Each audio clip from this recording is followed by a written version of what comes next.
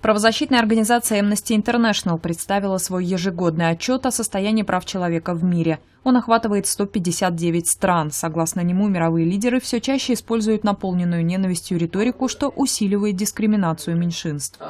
Распространение ненависти в отношении целых групп людей на основании их происхождения приводит к одному и тому же результату.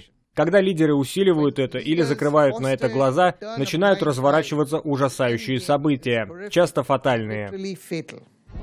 На прошлой неделе США призвали Совет Безопасности ООН привлечь армию Мьянмы к ответственности за этнические чистки в отношении мусульман Рохинджа. В настоящее время в зоне на границе между Мьянмой и Бангладеш в ловушке оказались более шести с половиной тысяч Рохинджа.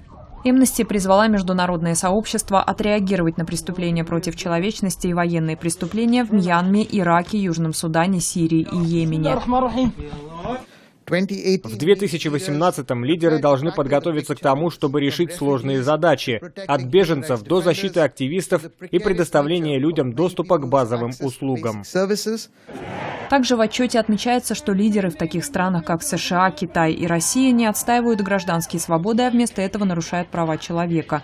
Президента Дональда Трампа обвинили в том, что он сделал шаг назад в защите прав человека, когда в январе прошлого года ввел запрет на въезд в США для граждан нескольких преимущественно мусульманских стран. Что касается Китая, то там, согласно отчету, коммунистические власти оказывают давление на активистов в Гонконге, а также арестовывают протестующих и демократических активистов на материке. Китай использует свое влияние в регионе и других регионах, предлагая правительствам строительные и инфраструктурные проекты, что очень приветствуется. Взамен он оказывает давление в других вопросах. Например, многие страны под таким давлением были вынуждены депортировать людей назад в Китай, где их могли ждать пытки и жестокое обращение. Согласно отчету, власти Китая также продолжают репрессировать приверженцев мирной духовной практики фалуньгун. Их незаконно лишают свободы, подвергают пыткам и другим видам жестокого обращения.